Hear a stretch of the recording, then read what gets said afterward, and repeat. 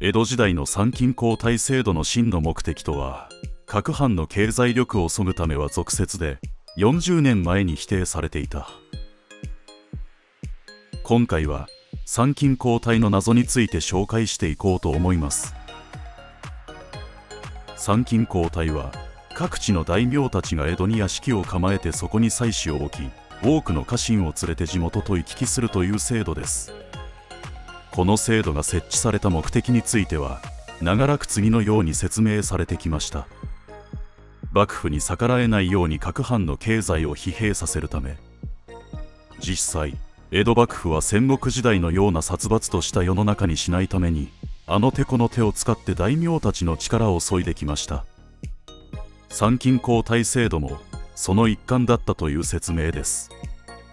しかしこのような説明は今の教科書には全く出てきません。これはなぜでしょう？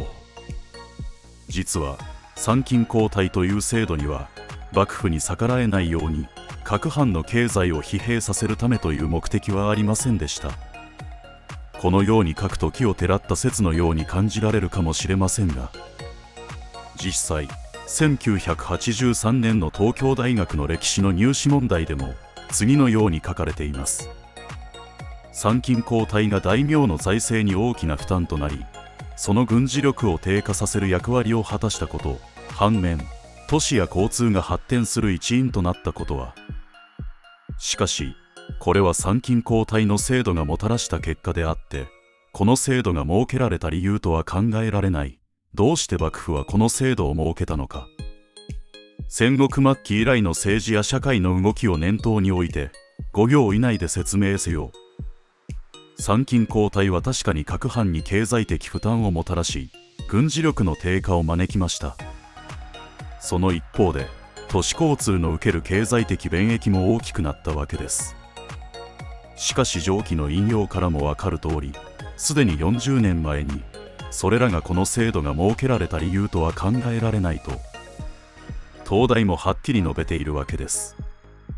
経済的負担軍事力低下経済発展はあくまでも副次的な結果でしかありませんでした。いわば偶然にそういう結果が生じたというだけです。徳川家光も規模縮小を求める。そしてまた江戸幕府の三代将軍である徳川家光も寛永0年に武家諸法度で以下のように記しました。大名商名は江戸に在住し時に交代することを定める毎年4月には参勤すべし従者の人数は近頃は非常に多く民の負担となっている。今後は相応に規模を縮小せよ。ここまで挙げた内容だけでも参勤交代制度の目的が幕府に逆らえないように各藩の経済を疲弊させるためではなかったことがわかるでしょう。ではそもそもなぜ参勤交代という制度は生まれたのか。その目的は何だったのか。カビで豪奢になっていく参勤交代。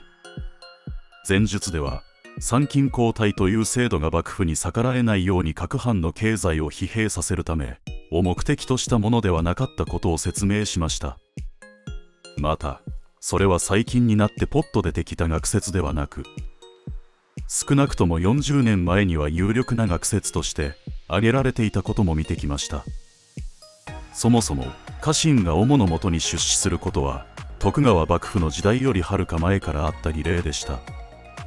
徳川家光が最近は参勤交代の人数が多いと指摘していることから以前から参勤があったことがわかります。そのもともとあった慣例を家光は制度化したわけです。